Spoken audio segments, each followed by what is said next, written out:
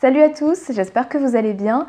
J'ai décidé de vous faire une grosse vidéo. Il se trouve qu'il y a quelques semaines, j'ai fait un live sur la chaîne Le Vortex, qui est la chaîne YouTube de la chaîne Arte. Donc pendant ce live, on a discuté des épisodes de Clotilde Chamussy, donc de la chaîne Passé Sauvage, autour de euh, l'archéologie et des grandes révolutions humaines. C'était un live hyper intéressant, ça a duré euh, pratiquement deux heures. Euh, et pendant ce live, on a pris les questions en direct des internautes. Évidemment, on n'a pas pu répondre à tout, et je sais que ça a été assez frustrant pour certains d'entre vous parce que bah, vos questions étaient très légitimes et très intéressantes. Du coup, c'était frustrant pour vous, c'était frustrant pour nous. Alors, j'ai demandé aux organisateurs du live si je pouvais reprendre vos questions pour y répondre. Donc c'est ce qu'on va faire aujourd'hui. Toutes les questions qui n'ont pas été sélectionnées ce soir-là, eh ben, on va les traiter maintenant. Du coup, ça risque d'être un petit peu long, hein. c'est pour ça que je me suis réinstallée euh, dans un canapé. C'est pas le canapé de la coloc, mais c'est un bon canapé quand même. Donc, si vous êtes pressé, je vous mets en description un sommaire, comme ça vous pouvez aller directement sur la question que vous avez posée ou sur les questions qui vous intéressent. Et puis sinon, si vous avez le temps, bah, faites-vous un petit thé et puis on va rediscuter de tout ça tranquillement euh, entre quatre yeux et entre deux coussins. Voilà. Allez, donc on va commencer avec une question de Marie-Louise Parker. Bonsoir Jennifer, Clotilde et les autres colocs.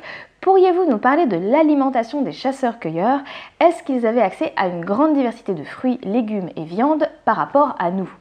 Alors, euh, tout de suite, euh, on a un internaute euh, qui s'appelle lefuck95 qui a donné un élément de réponse parce que effectivement, au niveau de la diversité, les chasseurs-cueilleurs de l'époque étaient bien sûr restreints par l'environnement dans lequel ils vivaient.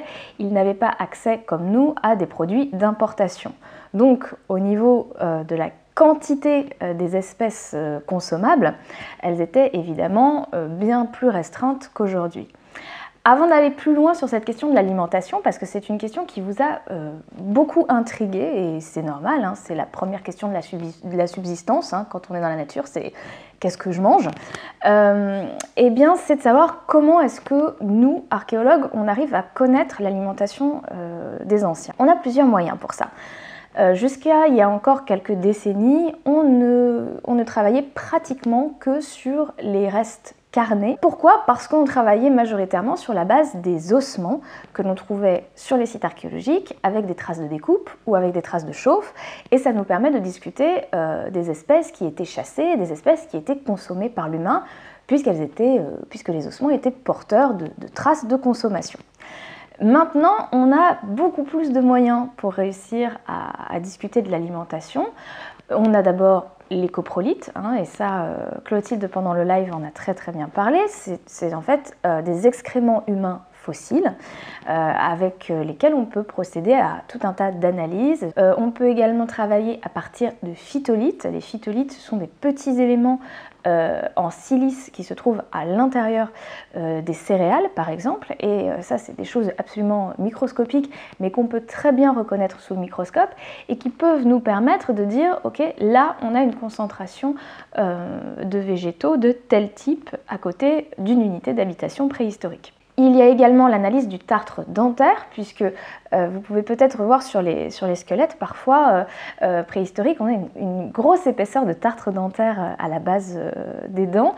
Et eh bien ce tartre, est très intéressant parce qu'on peut faire des analyses microscopiques dessus et obtenir des résidus alimentaires, tout simplement et ainsi savoir quel était le type d'alimentation consommée pour la petite anecdote, Philippe Charlier, que vous connaissez probablement puisqu'il euh, anime régulièrement euh, Allo Docteur sur France 5 et qu'il est l'auteur de nombreux euh, best-sellers, a travaillé sur la présence d'un spermatozoïde à l'intérieur du tartre dentaire. Alors, est-ce que cette personne était simplement férue de sexe oral? C'est possible. ou alors, est-ce que cette personne avait tout simplement mangé des rognons hein, C'est une autre explication possible de l'arrivée d'un spermatozoïde dans du tartre dentaire. C'est difficile de tirer une conclusion, mais en tout cas, sachez qu'on peut aller jusqu'à ce degré de précision-là dans l'analyse du tartre dentaire. On peut savoir ce qu'il y a à l'intérieur euh, comme résidu. Et enfin, il y a ce qui nous apporte le plus de précision depuis la dernière décennie, c'est les analyses isotopiques. Alors sachez que chaque végétal ou chaque animal possède une signature isotopique qui lui est propre. Un brin d'herbe a une signature isotopique. L'herbivore qui mange le brin d'herbe va donc s'inscrire à l'intérieur de cette signature isotopique, puisqu'il va être porteur de l'isotope qu'il a consommé.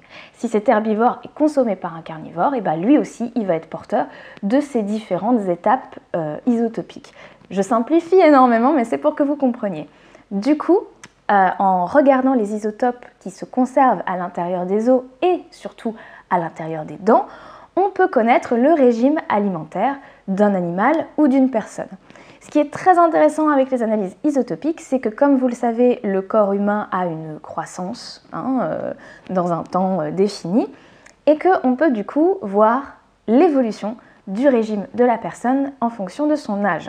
Si vous tapez dans la racine de la dent, vous allez avoir des informations sur l'alimentation infantile ou jeune. Et si vous tapez à l'intérieur de la couronne d'une dent définitive, bah, vous allez avoir des informations sur l'alimentation de la personne à l'âge adulte. Ça nous permet du coup de tracer par exemple eh ben, les déplacements euh, sur longue distance euh, d'une personne dans, un, dans un biotope donné. Donc ça c'est quand même pour nous très intéressant.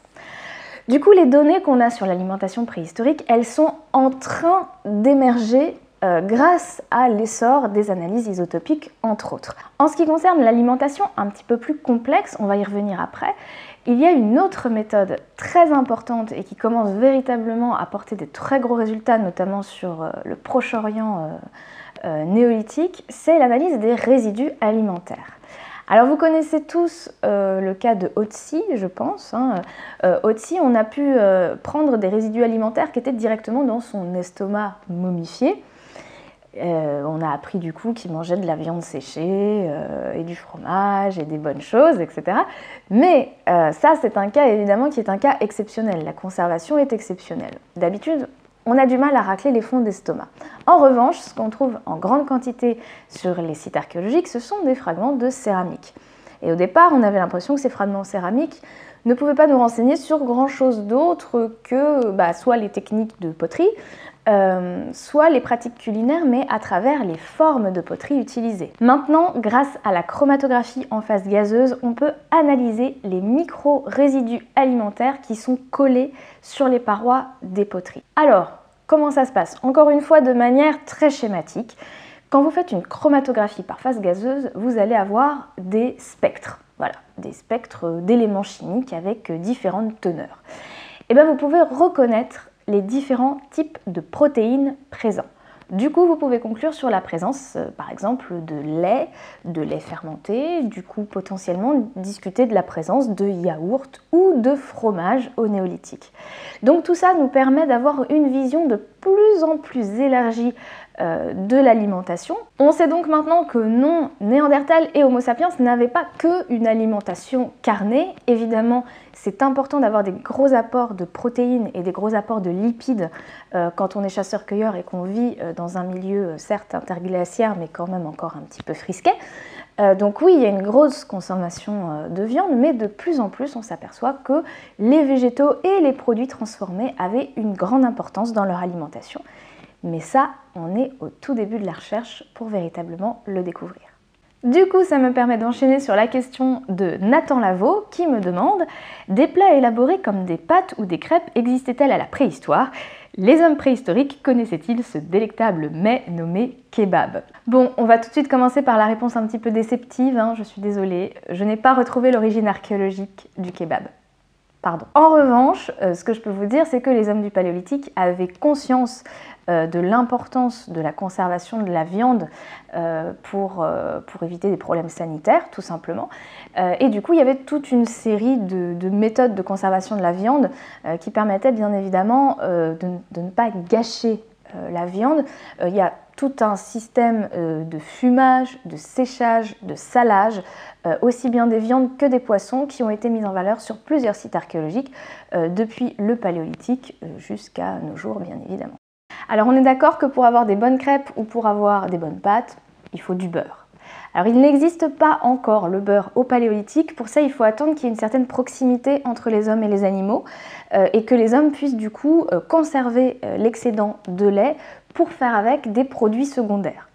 En revanche, du coup, on pourrait se dire que le beurre n'arrive qu'au néolithique. Bah, c'est pas tout à fait vrai parce qu'on a des preuves euh, de gestion euh, des femelles qui font du lait dès la fin du Mésolithique au Proche-Orient, donc aux alentours de 10 000, 10 300 avant notre ère. Alors vous allez me dire comment on le sait? Eh bien tout simplement parce qu'on regarde ce qu'on appelle les profils d'abattage. Les profils d'abattage, c'est la courbe de mortalité des animaux qui sont exploités par les hommes. Si vous avez des femelles qui sont conservées jusqu'à un âge avancé, c'est que ce sont des femelles productrices de lait. Quand vous avez des mâles qui arrivent à des âges avancés, c'est que ce sont des mâles reproducteurs. Et généralement, le profil d'abattage, il se situe euh, à son maximum.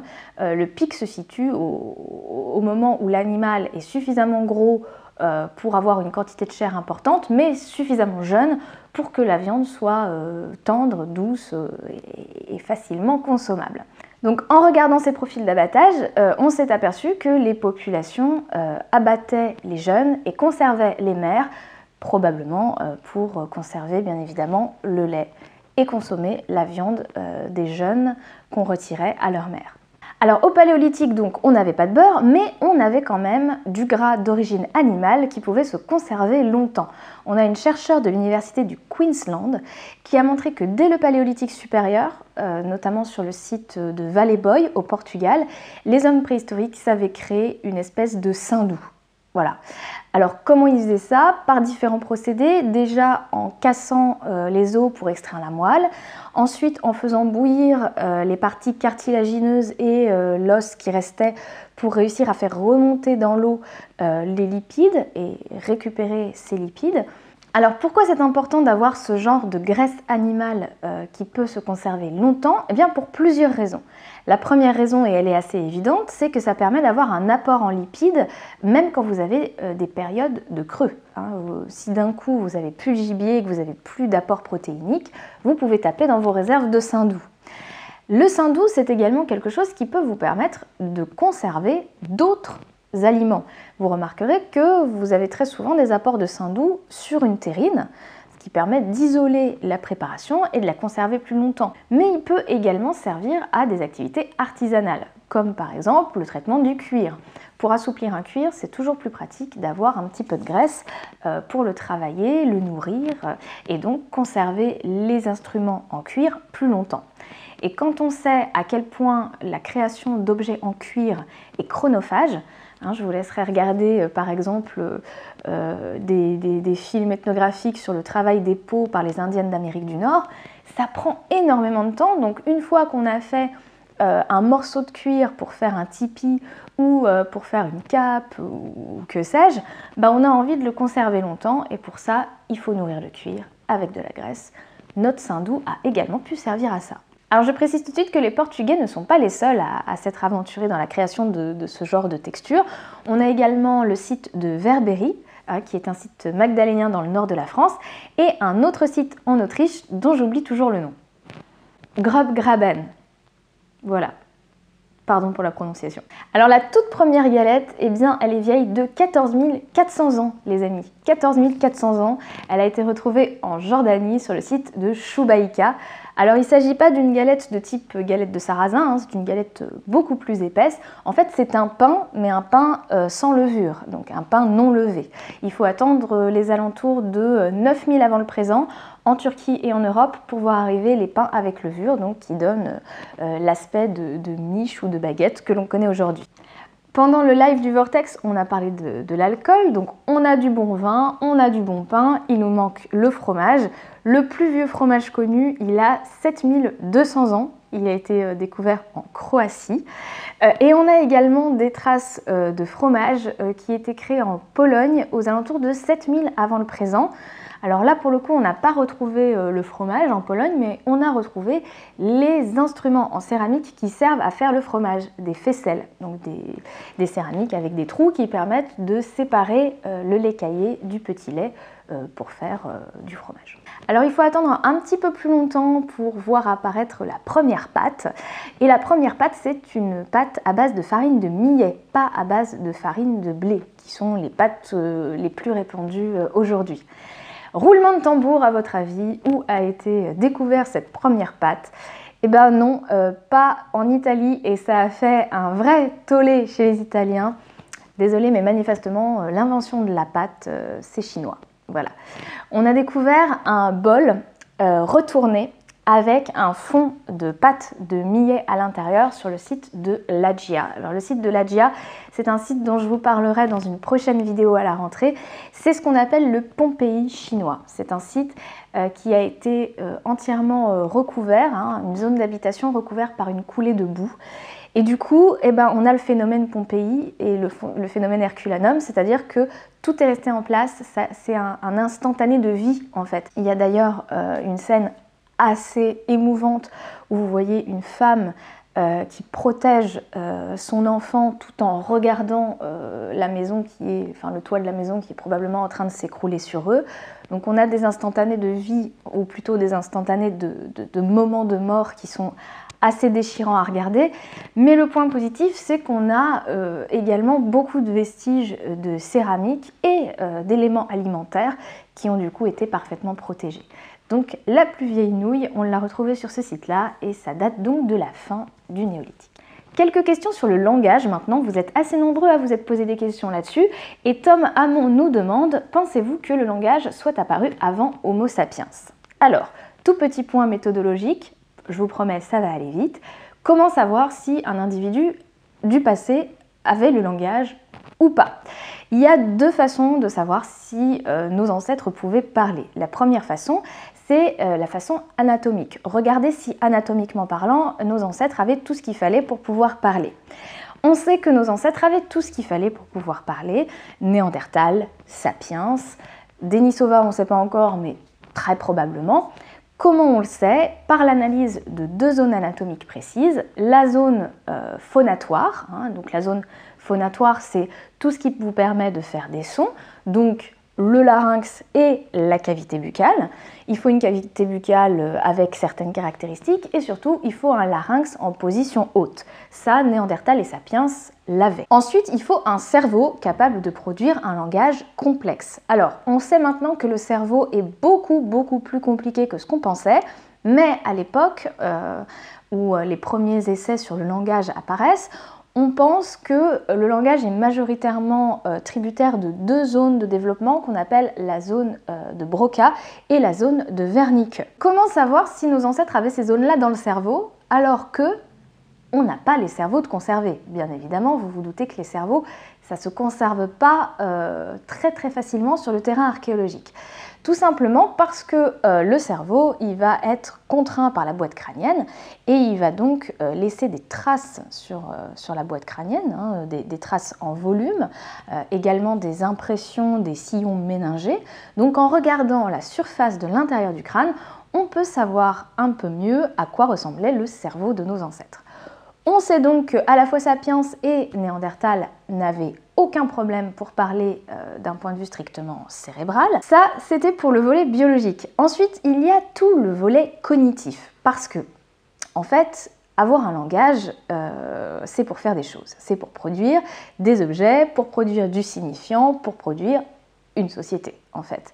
Et en observant les objets, en connaissant les procédés euh, de fabrication des objets préhistoriques, on peut finalement savoir euh, si les hommes avaient un langage ou pas. Pourquoi? Parce qu'à partir d'un certain degré d'élaboration technologique, on est obligé d'avoir un langage complexe pour parvenir à un apprentissage de la création de ces fameux objets. Alors l'apprentissage, ce n'est pas quelque chose de strictement humain.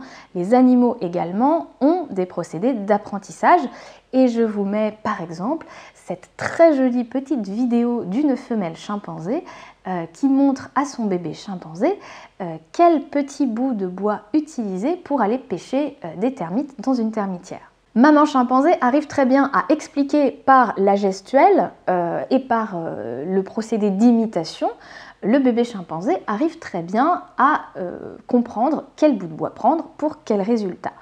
Mais à partir du moment où vous voulez créer un objet complexe qui demande plusieurs étapes de fabrication, vous êtes obligé de verbaliser. Alors, quand je dis verbaliser, c'est un peu un abus de langage pour le coup, parce qu'on peut très bien avoir un langage complexe qui ne soit pas verbal. Tout simplement le langage des signes, par exemple. Alors revenons à ta question principale, Thomas Amon. Est-ce que avant Sapiens et Néandertal, on a déjà euh, une possibilité de langage?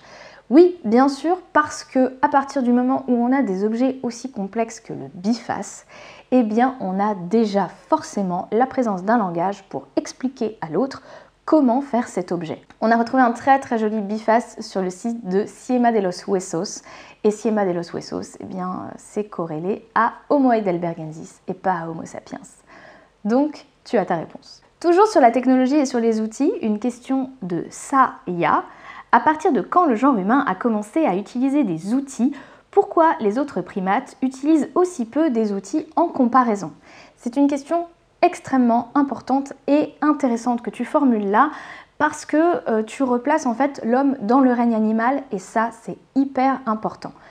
On va commencer par là et dire qu'on n'est pas les seuls à avoir ce qu'on appelle une conduite outillée. Une conduite outillée, c'est utiliser quelque chose pour une fonction particulière, alors que le quelque chose en question à la base n'a pas pour première fonction de servir à ce que vous allez faire.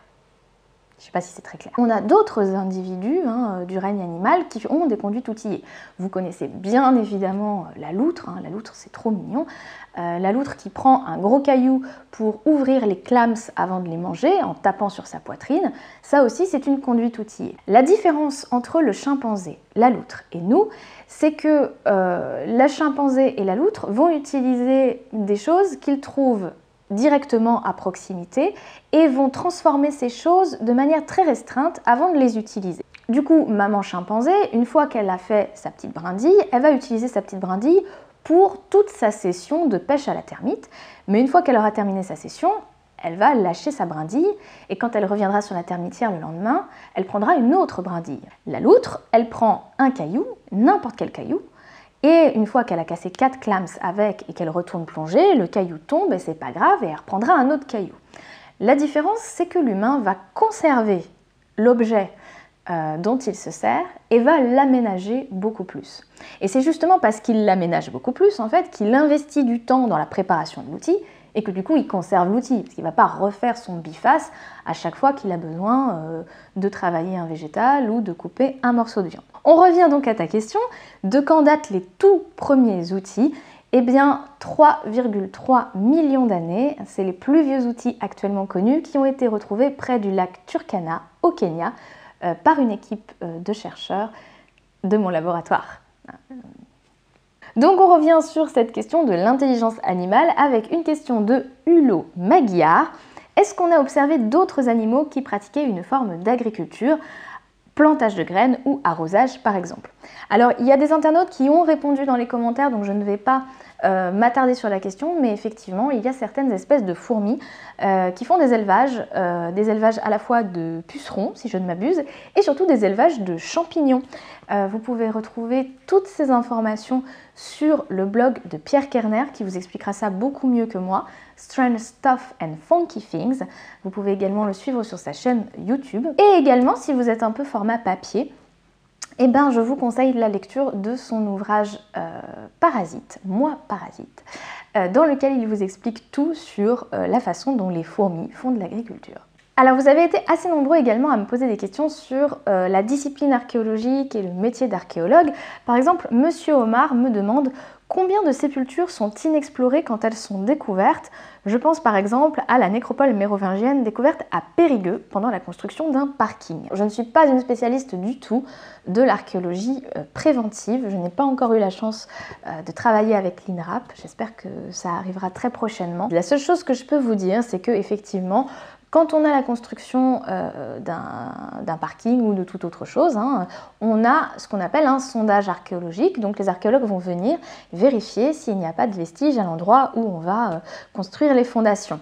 S'il y a des vestiges, on arrête le chantier et on fouille. Mais bien évidemment, on ne procède malheureusement pas à une fouille exhaustive il y a une négociation entre le constructeur et l'INRAP, négociation dont j'ignore les subtilités, hein, je me dédouane tout de suite, mais au terme de cette négociation, le chantier est reporté d'un certain nombre de semaines, d'un certain nombre de mois, et là, euh, les archéologues de l'INRAP vont fouiller, et eh ben, j'ai envie de dire, au maximum, le plus vite possible. C'est pour ça que les agents euh, de l'INRAP sont des archéologues très expérimenté. Donc je ne peux pas te donner un pourcentage de trucs fouillés ou de trucs non fouillés. C'est laissé aussi à l'intelligence et, euh, au jugement, au bon jugement des directeurs de ces chantiers d'urgence, parce que parfois il vaut mieux prendre un peu plus de temps pour fouiller une structure dont on a peu d'exemplaires connus, plutôt que de fouiller beaucoup de choses euh, qu'on connaît déjà un peu mieux. Voilà, c'est au bon jugement de ces, de ces gens euh, qui connaissent très bien l'état de la recherche, l'état des connaissances pour une période donnée et pour un terroir donné, et qui du coup vont orienter euh, les, les, préférences de fouille, le degré d'urgence en fonction de cet état des connaissances qu'on a une question d'Alsano Chelan. Comment se passe une étude d'archéologie à l'instar des études d'autres sciences? Y a-t-il une revue par les pairs? Est-ce qu'on distingue les faits, on découvre telle chose, de l'interprétation comme en histoire par exemple Alors, plein de questions très intéressantes euh, à l'intérieur de cette grosse question.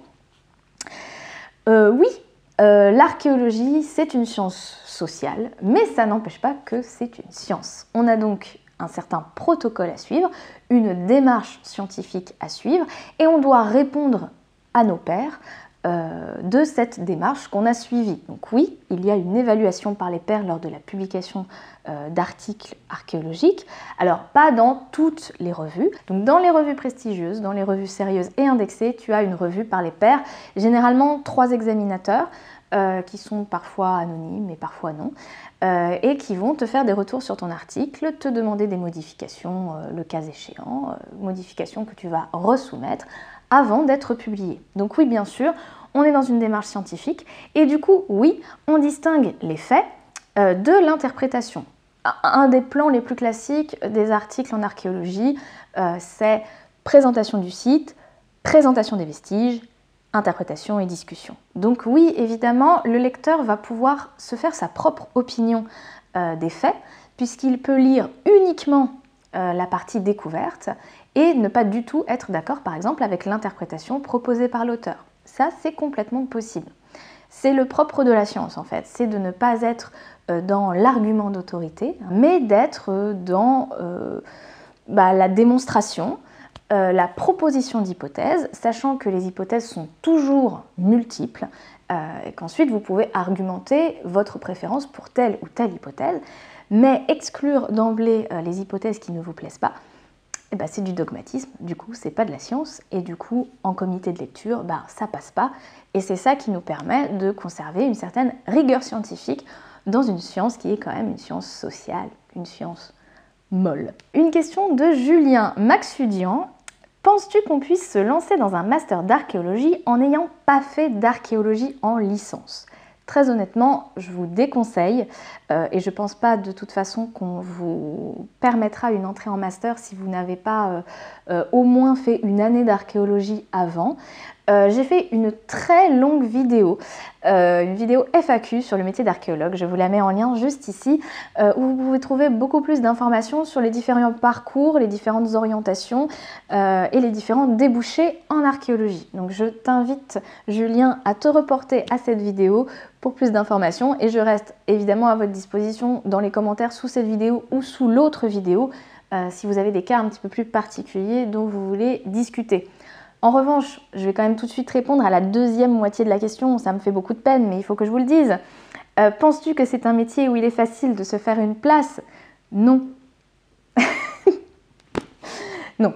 Non, c'est très compliqué, l'embauche en archéologie se porte mal j'ai envie de dire un peu comme l'embauche dans beaucoup de secteurs. Dans la vie, vous passez beaucoup de temps au travail, vraiment beaucoup de temps. C'est donc important d'avoir un métier qui vous plaise. Si vous êtes donc prêt à faire les sacrifices nécessaires pour obtenir le métier que vous voulez vraiment, le métier qui fait battre votre cœur, eh ben donnez-vous les moyens. Voilà, c'est le meilleur heureux, c'est le meilleur moyen, je pense, euh, d'être heureux dans la vie. Mais sachez que ça va pas être simple. Alors, une question de Théo Villot. Que pensez-vous du rôle des conservateurs-restaurateurs lors d'un travail interdisciplinaire avec des archéologues? Là encore, je vous renvoie à ma vidéo sur la FAQ, les différents débouchés de l'archéologie, puisque le métier euh, de conservateur-restaurateur, euh, euh, c'est un métier un petit peu, un petit peu tiroir, c'est vraiment le cas de le dire, parce qu'on travaille beaucoup sur des tiroirs de musée, du coup, mais c'est un, métier à, multiples facettes dont je vous décris précisément les tenants, les aboutissants et les formations dans cette vidéo. Donc si ça vous intéresse, rapportez-vous à cette vidéo, mais juste un, petit mot quand même pour, euh, pour rendre hommage au conservateur restaurateur. Mais le conservateur, c'est la personne qui, en fait, dans les musées, va donner accès aux vestiges aux chercheurs et qui aussi va monter les expositions ou prêter les objets pour des expositions à l'extérieur dans d'autres musées. Donc, c'est une personne qui a un rôle clé à la fois dans l'élaboration de la recherche d'aujourd'hui et dans la communication de ces résultats de la recherche au grand public. Donc, évidemment, un rôle très important. On a aussi une question de euh, 95 qui nous demande, question très intéressante, comment éviter les biais d'interprétation sur les découvertes archéologiques par rapport à notre culture moderne. Impossible, euh, c'est impossible d'éviter les biais d'interprétation, tout simplement parce que la science est faite par des humains, on a tendance un peu à l'oublier quand il s'agit de sciences dures, mais ça a aussi une influence sur les sciences dures. Hein. Euh, donc ce que tu es, la façon dont tu réfléchis, euh, tes propres croyances, euh, que ce soit des croyances mystiques, religieuses ou tes convictions politiques, vont orienter ta manière de regarder le monde et donc de regarder ton objet ton objet et, donc de la manière dont tu vas créer ton discours scientifique. Même si tu as une méthode scientifique en garde-fou euh, qui permet euh, de, créer euh, une hypothèse qui est falsifiable, euh, ça, c'est très important et c'est aiguillant, mais ça ne peut pas enlever euh, tous les biais d'interprétation. On continue avec quelques questions sur les chiens. Euh, Clear Knump nous demande à quel moment le chien et l'homme ont-ils commencé à se côtoyer et quelles sont les traces matérielles qui permettent d'identifier ce moment? Alors, le chien, déjà, par définition, ça arrive avec l'homme, puisque euh, le chien, c'est une évolution, une domestication euh, de canidés sauvages. Du coup, qui dit chien dit forcément rencontre euh, avec l'homme avant pour que le chien apparaisse enfin. Alors, on a deux possibilités pour essayer de dater l'apparition du chien. la première méthode, c'est un petit peu cryptique et je ne suis pas généticienne, donc je vais être un peu en panique pour vous expliquer ça proprement et joliment, c'est ce qu'on appelle l'horloge moléculaire. En fait, en regardant l'ADN de certaines espèces, enfin de toutes les espèces d'ailleurs, on peut euh, remonter le temps et essayer de, diagnostiquer le moment où le dernier ancêtre commun a laissé une trace euh, génétique euh, sur l'ADN de la nouvelle espèce. Donc ça, ça permet de faire remonter l'apparition du chien entre 40 000 et 10 000 avant le présent. Donc c'est pas très très précis. on a des vestiges archéologiques qui nous permettent d'être un petit peu plus précis sur euh, la, présence du chien et euh, notamment grâce au reste ostéologique. La différence entre un canidé sauvage et un canidé domestique, eh ben, c'est tout simplement des caractéristiques morphologiques. Euh, le chien va avoir certains, certains, traits morphologiques euh, qui vont être euh, valorisés par, euh, par la domestication. par exemple, les oreilles tombantes, des choses comme ça. Bon, ça, ça se voit pas sur les os, hein, mais c'est des choses, on sait qu'elles apparaissent au moment de la domestication du chien. Sur les os, on voit des évolutions, notamment au niveau des dents et de la morphologie de la mâchoire. Donc, les spécialistes savent identifier un squelette de chien par rapport à un squelette de renard ou de loup, bien évidemment. Et on a sur certains sites archéologiques des squelettes qui sont des squelettes de chiens. Et le premier squelette de chien, le plus anciennement daté de manière certaine, c'est les chiens de l'abri du Morin. Chien date de l'occupation magdalénienne, donc aux alentours de 13 000 avant le présent. Et euh, là, pour le coup, on a des traces de découpe sur les ossements. Donc manifestement, euh, le chien est déjà domestiqué et il est soit consommé, euh, soit traité pour un rite funéraire canin, ce qui reste quand même un, peu moins probable, donc très probablement consommé. Une autre question euh, qui rejoint un peu la précédente, mais qui euh, ne manque pas euh, de distance et d'humour, Sébastien Olive nous demande quand le chien a-t-il dressé l'homme? C'est une question un peu mignonne et, et, hyper pertinente en fait parce que effectivement on se demande comment est-ce que l'homme est venu à avoir envie de domestiquer les canidés sauvages pour en faire des chiens. Et euh, bah oui, un des arguments, c'est quand même la mignonnerie euh, de l'animal. Il faut savoir que certains canidés sauvages sont quand même plutôt euh, amicaux. Ce sont des animaux qu'on appelle commensaux, donc c'est-à-dire qu'ils aiment euh, euh, venir manger, enfin ils se mêlent facilement à d'autres espèces au, moment de la consommation de nourriture, parce que ce sont aussi, en plus d'être des chasseurs, des charognards et des opportunistes, et du coup ils s'approchent d'autres espèces animales. Donc si l'espèce animale en question est un humain et que un chien, un, bébé loup, un bébé renard, même un jeune, c'est quand même très très mignon et ça peut être très très câlin, effectivement il peut y avoir une domestication dans les deux sens C'est-à-dire que euh, voilà, certains charmes du chien, euh, enfin du futur chien qui du coup va devenir un chien. Et on a un exemple pour ça qui est assez parfait, c'est la sépulture 104 du site de Malaha, qui en fait euh, bah, montre une vieille femme, une vieille femme qui a été inhumée sur le côté, une position tout à fait normale pour la période natoufienne, mais elle a les bras un petit peu en hauteur comme ça, et sous les mains, elle a un canidé qui semble euh, être un petit peu un, avant-goût euh, euh, de, la domestication du chien. Donc on est entre 14 000 et 11 000 avant le présent. Et, c'est original parce que dans le natoufien, donc dans cette culture proche-orientale de, de, derniers chasseurs-cueilleurs juste avant l'agriculture, on est normalement sur un univers animal dans les tombes qui est peu présent. On connaît un exemple avec un massacre de gazelles, un exemple de sépulture qui contient des dents de cheval et une autre qui contient une carapace de tortue. Mais là, ce sont des objets en fait. Ça provient du monde animal, mais c'est plus des objets que des sujets. Alors que dans cette sépulture-là, on sent vraiment que le canidé a une place On a une autre question un peu sur le même sujet de Hulot Maguillard. Est-ce que les hommes préhistoriques chassaient déjà avec des animaux domestiqués? Alors, effectivement, l'aide du chien pour la chasse, c'est quelque chose qui aura après beaucoup de succès. Hein. Euh, on, sait qu'on a des, chiens euh, de guerre à, partir de l'Antiquité. Euh, on sait qu'on a, a diversifié les races de chiens en fait pour pouvoir avoir différents usages de chiens et le chien de chasse est effectivement un des, potentiels usages du chien. c'est d'ailleurs une des, hypothèses de départ, c'est est-ce que par hasard l'homme et le chien ne se seraient pas rapprochés parce qu'ils ont des stratégies de chasse commune. C'est-à-dire que le chien euh, va également chasser en meute, euh, rabattre. Euh, voilà, c'est pas, pas un félin, un chien, ça ne, ça ne court pas à pleine bille derrière, derrière une proie, ça a des stratégies de groupe. Voilà. Et l'humain aussi, quand il chasse, il a des stratégies de groupe. Donc peut-être que ces stratégies qui se rejoignent finalement, euh, ben peut-être que les hommes ont mis ça à profit très très tôt, euh, pourquoi pas dès le paléolithique moyen, paléolithique supérieur, et que c'est ça qui aurait entraîné la domestication du chien. C'est une des hypothèses plausibles euh, qui est soutenue par différents chercheurs et qui est évoquée par exemple par Jean-Paul Demoule régulièrement dans ses ouvrages. Alors, un sujet très intéressant, je vais essayer de ne pas trop en parler. Si vous connaissez ma chaîne, vous savez que J'aime beaucoup parler de sexualité parce que je ne suis pas une personne vénale et que j'adore voir mes vidéos démonétisées. Donc on va y aller très joyeusement euh, avec une question de la chouette à l'ouest. Bonjour la chouette à l'ouest, j'aime beaucoup ton pseudo.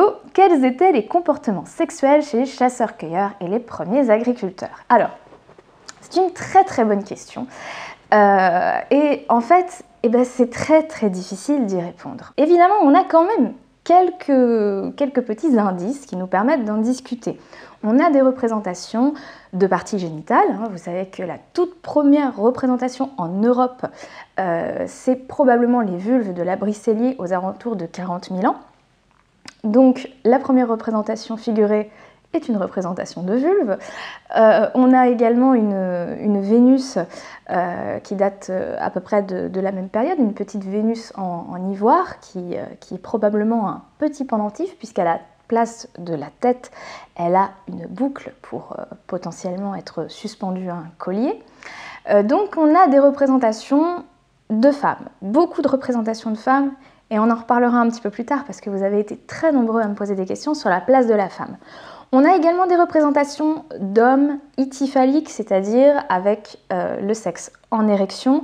Vous connaissez bien évidemment celui de la grotte de Lascaux, euh, qui est un petit peu particulier puisqu'il s'agit euh, d'un homme, d'un anthropomorphe, hein, on dit anthropomorphe puisqu'on n'est pas vraiment sûr, parce qu'il a quand même vraiment une tête d'oiseau, en érection en pleine attaque euh, de bison. On a également l'homme de Ribeira euh, di Piscos au Portugal où euh, c'est pas très très clair donc on n'est pas certain est-ce qu'on est face à un homme en pleine éjaculation ou est-ce qu'on est face à un homme circoncis en train d'uriner? C'est également possible, les interprétations sont ouvertes.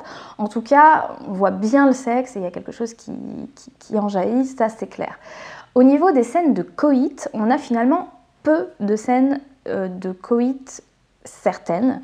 Euh, on a par exemple euh, celle-ci, une gravure de Los Casares. Donc voilà à quoi ça ressemble.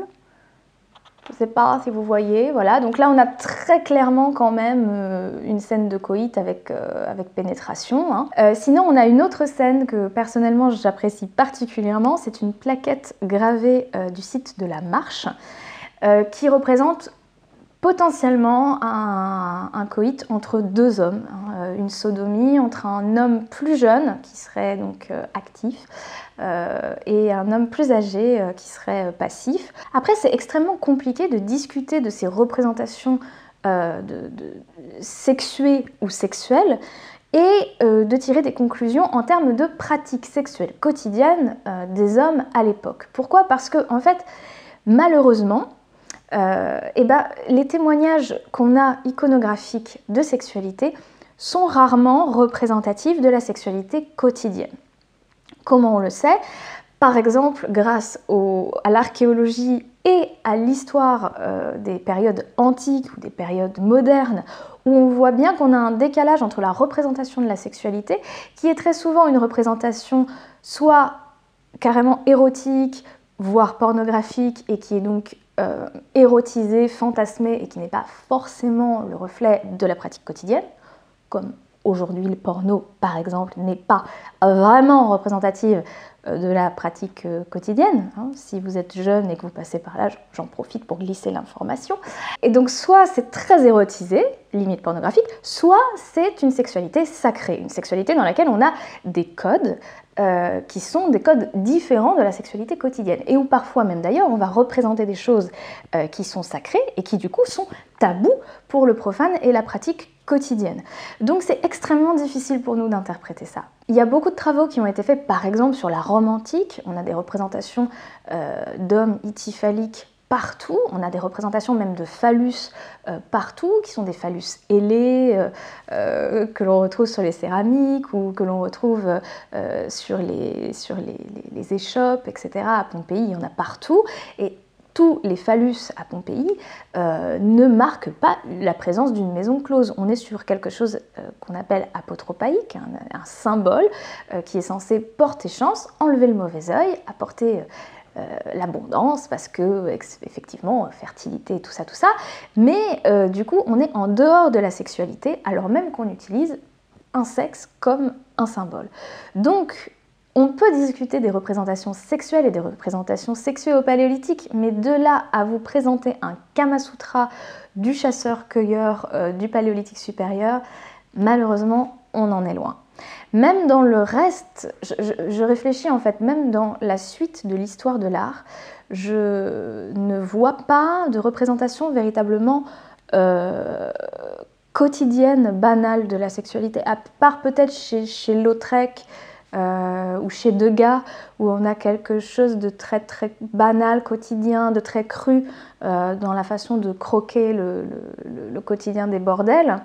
Euh, mais, à part ça, je, ne vois pas. La représentation de la sexualité est toujours mise en valeur, fantasmée, exacerbée, élaborée et fort peu représentative, à mon avis, du quotidien. Question de Igar qui suit un petit peu la question précédente. Est-ce que les hommes préhistoriques étaient polygames? Alors ça c'est une très bonne question et figure-toi qu'il y a des gens qui pensent pouvoir répondre à cette question. Donc la monogamie c'est avoir un seul partenaire, polygamie avoir plusieurs partenaires. La polygamie peut être une polygamie de type polyandrie, euh, c'est-à-dire qu'une femme a euh, plusieurs euh, partenaires masculins, ou l'inverse, qui est généralement plus pratiqué, où un homme a plusieurs femmes. D'abord, sachez que chez les mammifères, la polygamie, c'est ce qu'il y a de plus banal. Hein. C'est plutôt la monogamie qui est une exception à la règle. Mais toutefois, à l'intérieur du règne des mammifères, ce sont les primates qui sont le plus monogames. Ceci dit, on a différentes sortes de comportements sexuels, même à l'intérieur des mêmes espèces de primates, on a des différences. Par exemple, euh, les tamarins, euh, peuvent être à la fois polygames de type polyandrie ou à la fois polygames de type polygynie. Donc vous voyez, euh, même au sein d'une même espèce, les pratiques peuvent varier. Euh, je prends mes notes un petit peu parce que je ne suis pas primatologue et que là vous me posez quand même carrément une question de primatologue. Donc pour la polygynie, on a les gorilles et les géladas et euh, pour la polyandrie, on a par exemple les tamarins et les ouistiti qui la pratiquent. Alors Ford et Beach, dans une étude de 1951, ont montré que finalement la polygamie c'était statistiquement ce qui était euh, très représenté dans les sociétés humaines puisqu'il trouve 84 sociétés sur 182 euh, qui sont euh, polygames. Donc ça ne fait pas une majorité, hein, mais ça fait quand même une bonne partie euh, des populations humaines qui s'organisent autour de ce système-là. Tous ces systèmes sont valables, il est donc parfaitement envisageable que certaines populations de chasseurs-cueilleurs choisi un système et d'autres populations en aient choisi un autre. Ceci dit, Alan Dixon, et Alan Dixon c'est un peu le grand Manitou de cette question, lui il pense qu'on était plutôt sur des systèmes largement polygames, euh, de type plutôt polygynie, et il se base sur le fort dimorphisme sexuel entre les mâles et les femelles pour avancer cette hypothèse. Alors je ne suis pas primatologue encore une fois, donc je vous livre cette information, mais je serai bien en peine de vous donner mon opinion euh, sur les conclusions de ce monsieur. En tout cas, il a l'air largement euh, respecté par la communauté euh, des primatologues, donc plutôt a priori polygame. Toujours sur le même sujet, une question très romantique de notre cher métalleux curieux. Petite parenthèse, le métalleux curieux, euh, c'est une chaîne YouTube, je vous la mettrai en description dans la barre d'informations, et qui me demande est-ce que le mariage était pratiqué? Eh bien, nous n'en savons rien, mon cher euh, Nico, mais euh, je trouve que ta question est de bon augure pour ta petite amie. C'est évidemment très difficile de répondre à cette question pour la préhistoire ancienne. Après, pour la préhistoire récente, pour la protohistoire, on a d'autres indices euh, avec l'émergence des grandes élites à l'âge du bronze, fin âge du bronze et début d'âge du fer, où on se doute que les alliances matrimoniales ont dû jouer un rôle euh, dans la valorisation euh, du pouvoir et, que oui, voilà, les échanges d'épouses, c'est toujours un moyen, ou d'époux, hein, c'est toujours un moyen de, de pouvoir relier un territoire à un autre et de mettre des intérêts en commun. Euh, donc ça, on se doute, on se doute que ça a dû arriver à un moment donné, assez rapidement dans l'histoire. Très honnêtement, avec les chasseurs-cueilleurs, avant le néolithique, H. Dupuis nous dit quelle est la place des femmes dans la préhistoire, comment aborder les questions de genre et ou de sexualité en préhistoire. Alors pour la sexualité, on en a déjà parlé. Pour euh, les affaires de genre, vous allez pas mal lire si vous vous occupez de ces questions de genre autour de la division sexuelle du travail. La division sexuelle du travail, c'est quelque chose qui a été observé par certains anthropologues, euh, dont Alain Testard qui a beaucoup écrit sur la question, euh, et qui fait que certaines professions ou certaines activités sont interdites aux femmes pour des raisons sacrées, rituelles, très souvent liées à la menstruation. Bon, euh, cette question de division sexuelle du travail, elle s'observe chez certaines populations, elle ne s'observe absolument pas chez d'autres. Euh, donc c'est un, si vous voulez, c'est un, lieu commun qui a été beaucoup, beaucoup exploité en préhistoire il y a quelques décennies, dont on essaye peu à peu de se séparer, parce que la vérité c'est que en tant qu'archéologue, quand on est face à un biface, on n'a absolument aucun moyen de savoir si le biface a été fait par un homme ou par une femme. Donc cette espèce d'image que les femmes n'ont pas droit de toucher à tout ce qui coupe, à tout ce qui fait couler le sang, parce qu'elles-mêmes perdent du sang, peut-être, peut-être que c'est vrai, euh, et oui, c'est vrai pour certaines populations euh, ethnographiques qui ont été observées, mais euh, je me méfie de ce genre d'universaux. et la vérité, c'est que quand on regarde les faits, et purement les faits, tout le monde est capable de tailler la pierre ou de travailler la céramique, et il n'y a pas de contraintes, si ce n'est celle sociale qu'on se pose après en élaborant euh, tout un discours, il n'y a pas de contraintes euh, sexuelles euh, à la pratique de certaines choses. Après, le genre apparaît effectivement, et le genre va être la base de l'élaboration d'un discours qui peut interdire aux femmes de faire certaines choses plutôt que d'autres, ou d'interdire aux femmes de faire certaines choses à un certain moment de leur cycle. Comment on aborde du coup cette question avec beaucoup de difficultés? Pour moi, une des seules sources valables euh, de discours sur la différence entre les genres en préhistoire, ce sont les sépultures. vous comprenez pourquoi j'adore les sépultures, parce que les sépultures, c'est un moyen non pas de parler de la mort, mais de parler des vivants et d'en parler dans ce qu'il y a de plus constitutifs de la société, comme par exemple les rapports entre les hommes et les femmes. À partir de la fin de l'âge du bronze et euh, du début de l'âge du fer, je vous l'ai dit, on voit apparaître une, élite. Je vous invite par exemple à aller lire les travaux, si ça vous intéresse, de Caroline Trémaud, qui travaille sur ces questions. On a des sépultures, on a des hommes, on a des femmes. Les deux sont puissants. Les deux ont euh, des objets de prestige à l'intérieur de la tombe. Les deux des armes. Donc les femmes peuvent être associées à une image guerrière. On le sait aussi parce qu'on a des représentations de femmes avec des épées, par exemple euh, sur certains chaudrons euh, de l'âge du fer. Mais le problème avec ces représentations-là, c'est qu'on n'est pas sûr que ce soit pas une représentation mythique. Est-ce que cette femme est une déesse? Est-ce qu'il s'agit d'une déesse guerrière? Pourquoi pas? Mais le fait qu'il y ait des figures de déesses guerrières ne veut pas forcément dire qu'il y avait des femmes dans les armées. Ceci dit, on sait maintenant qu'on a effectivement des femmes qui avaient, qui étaient peut-être pas sur le champ de bataille, quoique probablement elles y étaient, mais en tout cas qui avaient une certaine autorité martiale. Alors si elles n'avaient pas forcément un pouvoir décisionnaire militaire, en tout cas, elles avaient les, symboles euh, de cette puissance martiale associés à elles dans leur tombeau. Donc ça, ça montre que euh, on n'est pas sur une société où la femme n'a pas d'importance, on n'est pas sur une société où la femme ne peut pas prendre part euh, à l'expansion euh, du territoire. Euh, voilà, donc la femme avait une place dans la société, une place certaine, peut-être même une certaine place, mais euh, c'est effectivement très difficile euh, de, poser plus d'hypothèses là-dessus. Et je sais que ça vous intéresse beaucoup. Par exemple, Bruno Bessé me dit Est-ce que tous les peuples de la préhistoire vivaient sous le mode patriarcal? On n'en sait rien.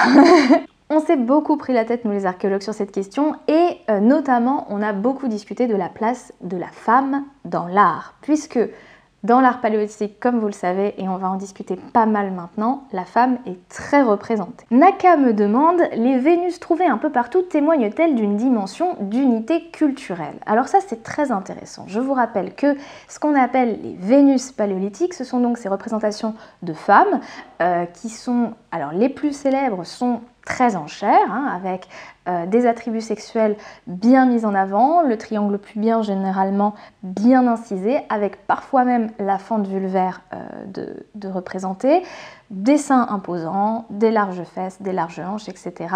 Ceci dit, il en existe aussi des maigrichonnes, hein, et, on, en a parlé déjà sur le vortex.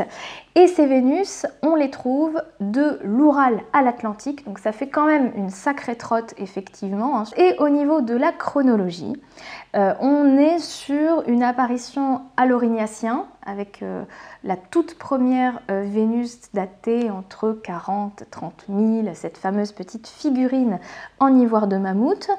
Et on a des représentations féminines très abstraites. Euh, à partir du solutréen et du magdalénien, ça se schématise de plus en plus pour devenir les signes qu'on appelle claviformes et qui sont potentiellement les femmes de profil avec cette espèce d'ondulation qui reste très sensuelle malgré la schématisation. C'est un peu difficile à dire en se basant uniquement sur euh, cette forme euh, féminine.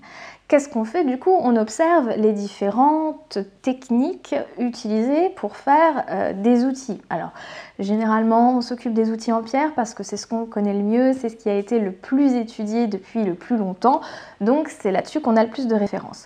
Quand on regarde les outils en pierre pour ces périodes-là et pour cette ère euh, géographique-là, on s'aperçoit qu'on a de très nombreuses variabilités. Donc, on a différents horizons culturels. Euh, on a des gens qui ont envie de marquer leur spécificité euh, par la création euh, d'outils selon des techniques particulières et avec des formes particulières. Donc, une unité culturelle, une pré-Europe, si tu veux, en gros, qui se baserait sur cette figure féminine omniprésente, non. Euh, non, clairement, euh, on n'a pas une Europe unifiée. On a des groupes de chasseurs-cueilleurs qui ont leurs identités euh, très fluctuantes et qui d'ailleurs fluctuent également dans le temps de manière finalement assez rapide. Après, est-ce que au-dessus de cette mixité, de cette arborescence des cultures de groupes de chasseurs-cueilleurs, est-ce qu'on a une surcouche euh, qui unit tous ces gens, une croyance qui se serait diffusée, une figure divine qui se serait diffusée entre les différents groupes de chasseurs-cueilleurs Peut-être. Comment le savoir? Ou est-ce qu'on est plutôt sur euh, une préoccupation humaine un peu universelle finalement, qui trouve une forme d'expression artistique euh, finalement assez homogène, et encore quand on dit homogène, voilà, elles sont quand même pas toutes pareilles ces Vénus. Hein. Mais est-ce que voilà, les gens auraient la même préoccupation et finalement euh, euh, la même pulsion euh, de, création esthétique? Ou peut-être un peu des deux. Comment savoir? C'est très très délicat de répondre à cette question. Et d'ailleurs, j'enchaîne du coup sur une autre question qui nous permet de creuser un petit peu la chose. Histoire à la carte, qui est également un youtubeur dont je vous invite à découvrir la chaîne. Je vous mets toutes les infos en barre en barre d'informations, me dit il y a des milliers de représentations de Vénus. Lossel, Willendorf, je vous les mets euh, pour que vous sachiez de qui on parle, et peu de représentations masculines. Ça, c'est vrai. C'est vrai que proportionnellement, l'homme est beaucoup, beaucoup moins représenté que la femme. Euh, et ça, d'ailleurs, euh, Florian nous le dit très très bien dans son livre. En gros, l'homme, à part à Lascaux, dans la grotte des Trois Frères, mais où il est du coup euh, un homme animal, en fait, un homme un petit peu hybride. Soit c'est un homme à tête d'oiseau à Lascaux, soit c'est un homme avec une peau euh, de bison euh, dans la grotte des Trois Frères, soit c'est un homme avec des bois et une espèce de barbe très très étrange. On est sur des représentations masculines qui sont rarement des représentations masculines de portrait. On est plutôt sur euh, une entité euh, anthropomorphe slash phallique dont l'identité humaine n'est pas très claire. On est plutôt sur des anthropomorphes. Le contre-exemple de ce que je viens de vous dire là, c'est toutes les plaquettes gravées de la grotte de la Marche. Cette grotte de la Marche, est très particulière. On a trouvé beaucoup de plaquettes de schiste gravées. Et on y trouve des portraits, des vrais portraits, euh, pas seulement d'hommes aussi, des portraits de femmes, mais vraiment du portrait. on sent que l'artiste a travaillé à, représenter une personne, une identité, un portrait. Euh, mais c'est un peu un unicone, euh, la grotte de la Marche, en ce qui concerne ce style. Euh, qui est d'ailleurs plutôt daté du Magdalénien. Hein, donc euh, voilà. Et on se demande si euh, ces grottes, ces plaquettes de la grotte de la Marche ne sont pas en fait les témoignages de carnets de croquis d'un artiste que l'on trouve à la marche parce que pour à cet endroit-là le type a utilisé des plaquettes de schiste alors que d'habitude les mecs le faisaient à même le sol, sur le sable ou sur des matériaux périssables. C'est véritablement un, petit trésor, les plaquettes de la marche, mais qui sont du coup des ovnis en matière de représentation et qui ne sont pas forcément du coup des représentations qui étaient censées être pérennes. Et ça c'est important parce que autant sur une paroi de grotte, quand on fait une représentation, on s'attend à ce que ça reste là, autant les petites plaquettes de schiste gravées, surgravées, avec des traits de repentir et puis parfois des griffonnages, on n'a pas l'impression que ce sont des œuvres, on a l'impression que ce sont des études et qu'elles ne sont pas forcément faites pour être données à voir. Donc qu'est-ce que ça veut dire? Ça veut dire que les artistes de l'époque étaient des vrais artistes, des, mecs qui travaillaient à l'atelier, si j'ose dire. Euh, et ça veut dire aussi que euh, l'art officiel, euh, l'art qui, est sur la paroi de la grotte, n'est pas forcément représentatif de l'ensemble de la production picturale des gens dont c'était une des activités principales que de produire des représentations esthétiques. Euh, ça, c'est un point important, c'est un petit peu précis, mais il fallait que je, vous le dise, puisque effectivement, sur la grotte de la Marche, on a beaucoup plus de mecs. Donc si on compte les hommes de la grotte de la Marche, en fait, ça fait exploser le compteur. Mais si on les enlève, euh, oui, effectivement, il y a peu de représentation d'hommes sur les parois des grottes et pas du tout euh, de représentation d'hommes, à ma connaissance, hein, en ronde bosse entier. On a des phallus en ronde bosse hein, euh, sur les, bâtons euh, percés, ce genre de choses, mais on n'a pas de statuettes d'hommes comme on a l'équivalent des statuettes de femmes. Ça, ça n'existe pas. du coup, Histoire à la carte me demande est-ce que l'homme préhistorique était déjà un obsédé? C'est une très bonne question et ça c'est une question en fait qui nous renvoie encore à l'idée de la place de la femme dans la préhistoire. Parce qu'en effet, ces statuettes, ces Vénus, euh, on ne les a pas appelées des Vénus pour rien en fait. Le fait de les qualifier de Vénus, c'est bien représentatif de ce que les mecs ont pensé quand ils ont eu en main l'objet. C'est-à-dire que on est tout de suite sur une projection, bon, de divinité certes, hein, mais ils les ont appelées des Vénus, ils ne les ont pas appelées des Athéna.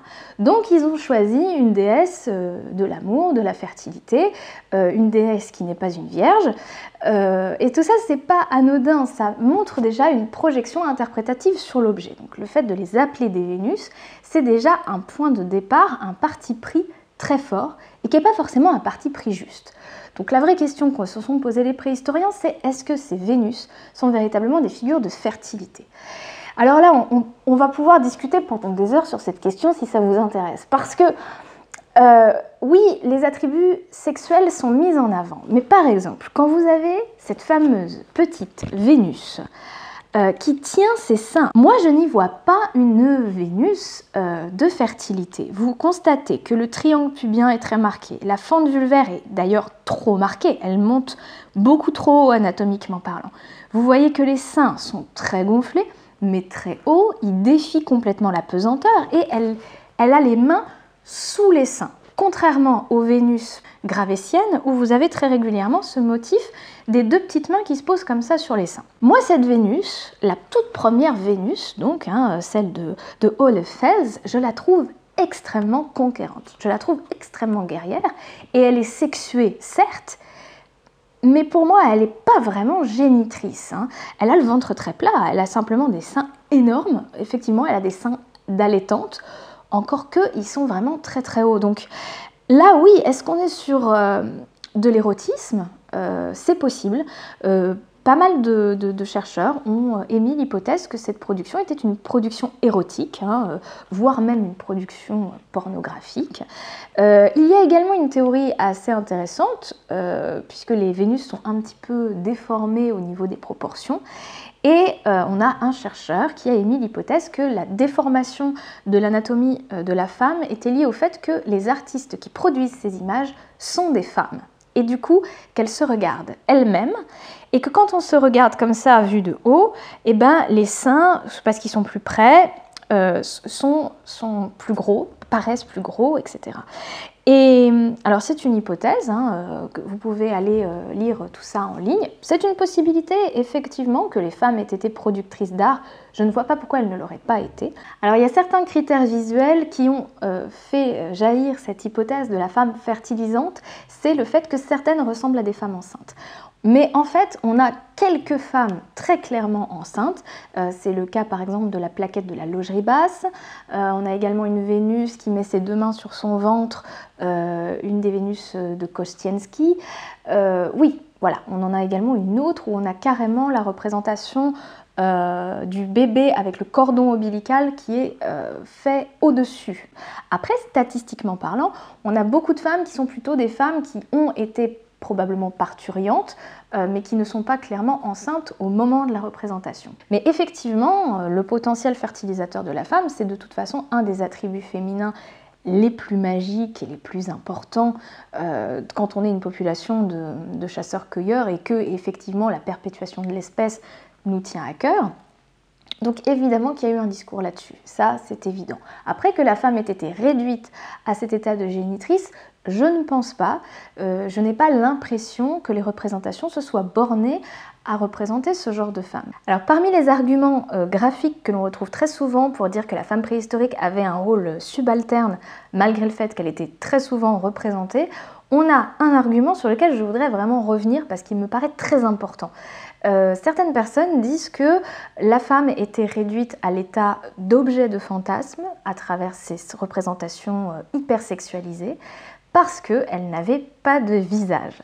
Alors c'est vrai qu'à part la Vénus de Brassempouy, euh, qui a un visage mais qui a un visage incomplet, puisqu'effectivement elle a un, très joli nez, des très jolis yeux, un, joli petit menton, mais elle n'a pas de bouche. Bon. Mais on est quand même sur une représentation qui est, euh, pour moi, de l'ordre du portrait, de l'ordre de la représentation d'une femme particulière. J'aimerais quand même revenir sur cette esthétique de l'ébauche. L'esthétique de l'ébauche, c'est quelque chose que l'on retrouve euh, aussi chez les grands maîtres académiques. Hein. Le type qui a formé euh, Manet, par exemple, avait euh, toute une esthétique de l'ébauche et l'enseignait à ses élèves. Il faisait les visages au chiffon. Voilà. Euh, et ça crée quelque chose de, tout à fait esthétiquement euh, viable et qui est un parti pris sans pour autant être un parti pris euh, qui, qui, serait là pour descendre l'image de la personne que l'on représente absolument pas. Parmi les artistes contemporains, vous avez de très grands noms de la peinture qui ont représenté les femmes avec des visages ébauchés, avec des yeux absents, par exemple, comme chez Modigliani, ou carrément avec des visages absents. Euh, je vous mets ici en exemple de très belles séries euh, de mon peintre contemporain vivant préféré, Harry Bouchicha, qui est, je pense, de tous les peintres contemporains vivants, celui qui aime et glorifie le plus les femmes et qui pour autant a choisi cette esthétique de l'ébauche au niveau du visage. J'en profite pour faire une petite parenthèse avant que vous ne me demandiez dans les commentaires mais où as-tu acheté le superbe crâne qui est juste derrière toi? Eh bien, c'est justement une huile sur toile de Harry Bouchicha. Je vous laisse découvrir son travail. Je vous mets son site dans la barre d'informations. C'est un peintre absolument merveilleux. Je vous conseille d'acquérir très rapidement ces œuvres avant que sa cote n'explose. Alors, on est le lendemain du tournage, j'ai commencé à prémonter la vidéo et je suis déjà à une heure de vidéo alors que je n'ai pas traité la moitié des questions. Il me reste encore plein de choses à, vous dire sur la santé au paléolithique, sur l'art, sur la violence rituelle, sur les rencontres entre Denisoviens, Néandertaliens et Sapiens. Bref, plein de trucs très intéressants parce que vous avez posé plein de questions géniales. Donc ce que je vous propose, même si c'était pas prévu, euh, c'est en fait de faire ça en deux tomes. Du coup, n'hésitez pas à poster vos commentaires sous cette vidéo pour que j'y réponde dans le tome 2, ce qui risque de nous amener à faire un tome 3. Pour terminer, je réponds juste à une toute dernière question parce que vous m'avez demandé quel est le livre à lire cet été sur la plage en matière d'archéologie et de préhistoire. Il s'agit de Trésor de Jean-Paul Demoule aux éditions Flammarion.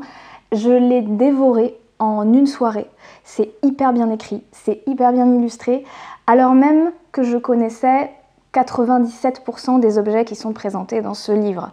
Donc si en plus vous découvrez ces objets pour la première fois, euh, là, il y a fort à parier que vous allez être complètement sous le charme de cette lecture. Et en plus, le livre est très joli, comme une sorte de mise en abîme de son sujet, euh, alors qu'il n'est pas cher du tout, 19,90€ chez Flammarion. C'est mon conseil pour cet été. Je vous souhaite de passer un très très bel été. À très bientôt pour de nouvelles vidéos. Et d'ici là, restez vivants